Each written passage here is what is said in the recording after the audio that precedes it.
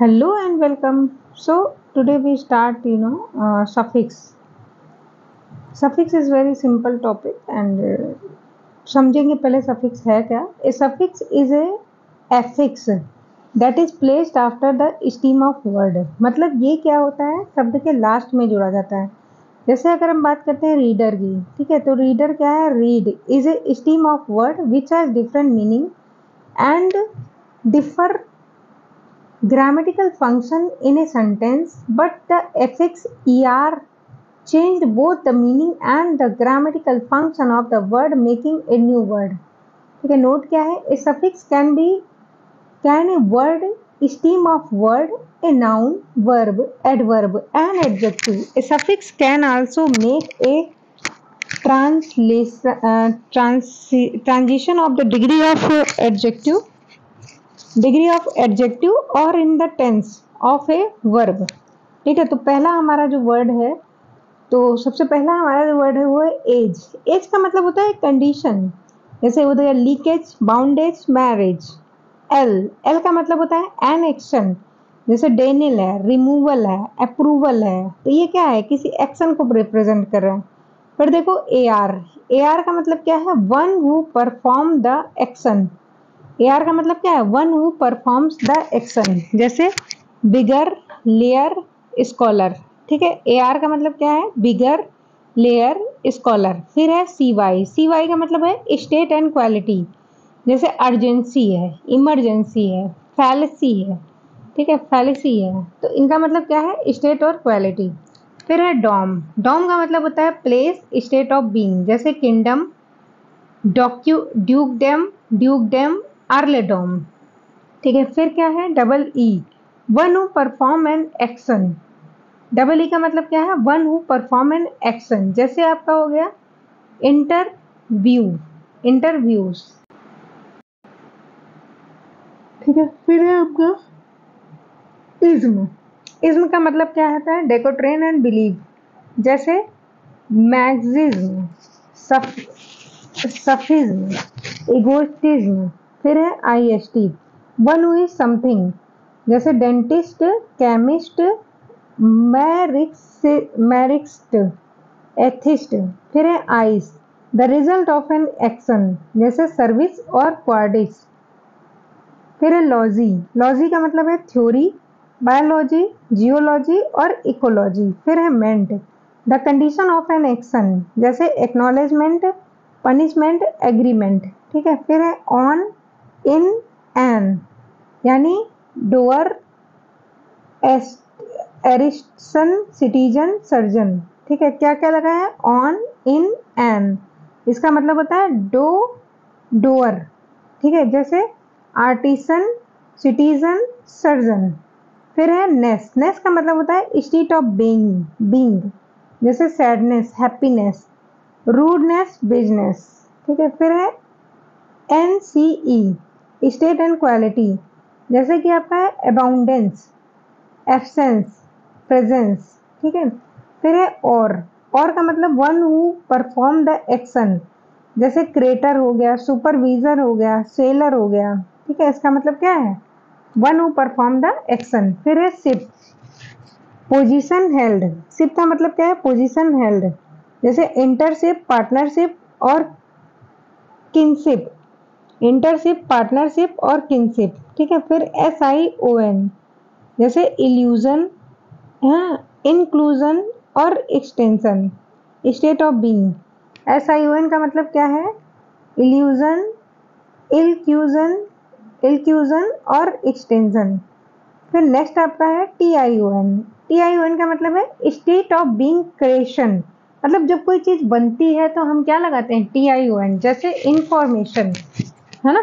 Conformation फिर है tude T U D E tude result of an action जब किसी चीज़ का रिज़ल्ट निकलता है तो T U D E last में हम सफिक्स लगाते हैं। जैसे फॉर्टीट्यूड मैग्नीट्यूड सर सर्विट्यूड ठीक है?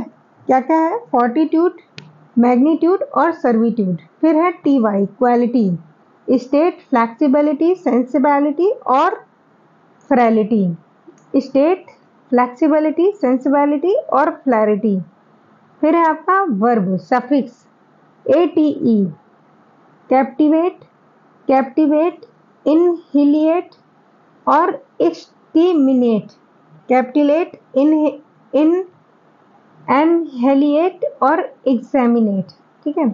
ये वर्ब सफिक्स है. ठीक है? फिर है आपका ई एन ई एन का मतलब होता है डू ईएन का मतलब क्या होता है? डू जैसे ब्रॉडरन ब्रॉड ब्रॉडरन एवोकन और स्ट्रेंथन फिर है ई आर ई आर का मतलब भी क्या होता है? डू होता है। जैसे chatter glitter glimmer chatter glitter glimmer ठीक है? फिर नेक्स्ट है आपका I S H to punish nourish punish banish published nourished punish banish इसका मतलब क्या होता है? डू होता है। फिर है एफ़ वाई एफ़ वाई का मतलब होता है मेक जैसे रेसिफाई रेसिफाई सिंप्लीफाई एम्पलीफाई इसका सबका मतलब क्या होता है? बनाना। फिर है I Z E I Z E का मतलब होता है बिकम जैसे ह्यूमनाइज ऑर्गेनाइज सोशलाइज और लेगिलाइज लेगी लेगिलाइज फिर है आपका एडजेक्टिव सफिक्स इसमें क्या क्या आता है? एबल तो कैपेबल ऑफ़ बीइंग यानी प्रेजेंटेबल रीडेबल और बिलीवेबल एडजेक्टिव सफिक्स है। फिर देखो एल है। एल मतलब बियॉन्ड टू जैसे legal local mental moral fatal musical L में क्या क्या आता है? लीगल लोकल मेंटल मॉर्टल और फैटल और म्यूजिकल, फिर है अर। अर मतलब होता है क्वालिटी, फैमिलर, रेगुलर, सर्कुलर, ठीक है? अर का मतलब क्या होता है? Quality, familiar, regular, circular. फिर है ED, quality, gifted, talented, learned और कल्चर्ड। ईडी का मतलब क्या होता है? Cultured, learned, talented, gifted. फिर है ईएन ईएन का मतलब होता है मेड ऑफ़, जैसे गोल्डन हुआ, वुडन हुआ है ना? और वुलन हुआ ले लेडन हुआ लेडन फिर है फुल। फुल का मतलब होता है नोटेबल फॉर ब्यूटीफुल है ना? वंडरफुल डाउटफुल फिर है आइडल आइडल का मतलब होता है कैपेबल ऑफ़ एडमिशेबल डिविजेबल और सेंसिबल एडबल का मतलब क्या होता है? कैपेबल एडमिशेबल डिविजिबल और सेंसिबल फिर है आईसी इसका मतलब होता है पेंटे, पेंटेनिंग टू यानी allergic pertaining to allergic mythic domestic और हिस्टोरिक फिर है नेक्स्ट आपका आई एस एच यानी बियॉन्ड टू जैसे सेल्फिश हो गया तुर्किश हो गया आयरिश हो गया पुलि पुलिस हो गया है ना और चाइल्डिश हो गया।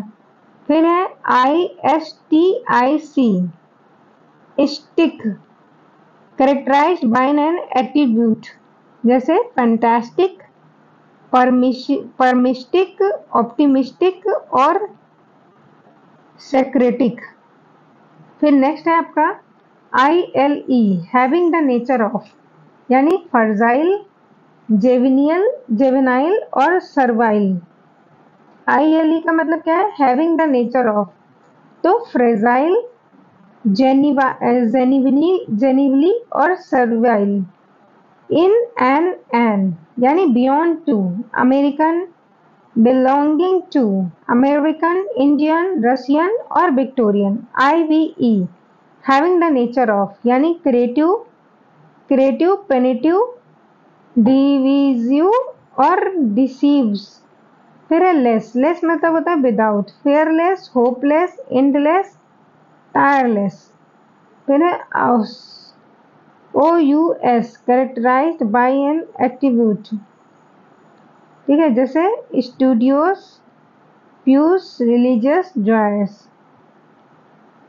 फिर है characterized by simply L Y का होगा. Simply healthy T H Y greedy or wealthy. So these are the some suffix which is important for the all examination.